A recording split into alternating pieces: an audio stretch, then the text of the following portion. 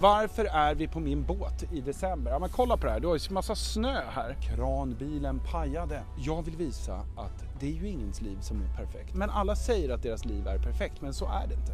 Det är den ena grejen. Den andra grejen som jag vill förmedla i den här filmen, det är ju det att entreprenörskap handlar ju om att lösa problem.